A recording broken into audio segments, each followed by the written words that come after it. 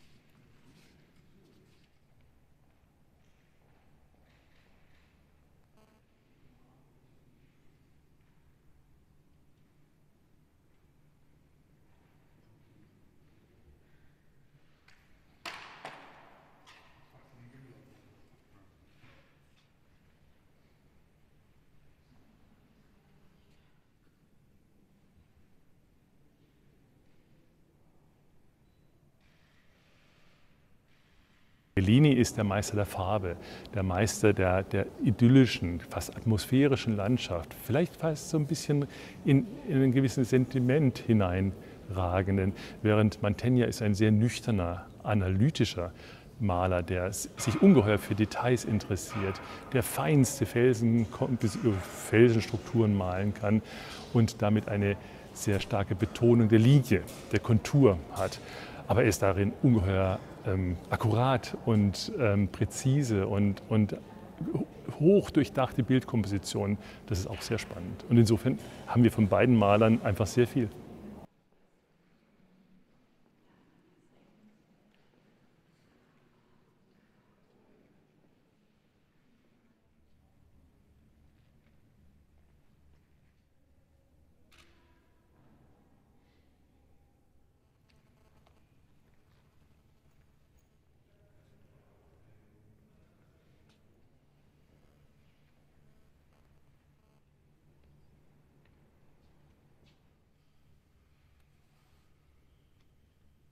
Glaube, die beiden hatten ein sehr gutes Verhältnis zueinander. Sie waren nicht direkte Konkurrenten, nicht direkte knallharte Rivalen.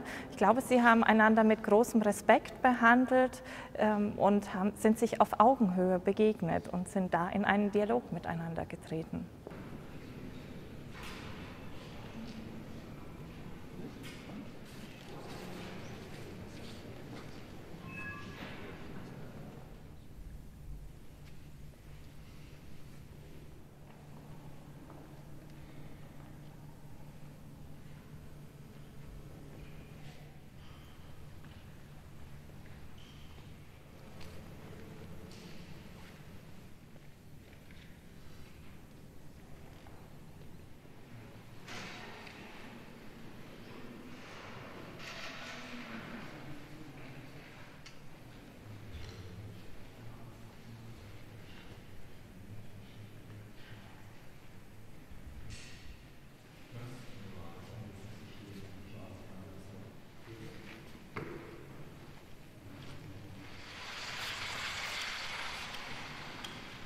Man kann vielleicht wirklich sagen, für die zweite Hälfte des 15. Jahrhunderts, also die Zeit zwischen 1450 und 1500, sind Mantegna und Bellini sicherlich die einflussreichsten und wichtigsten Maler in Norditalien, im Kulturumkreis von Venedig.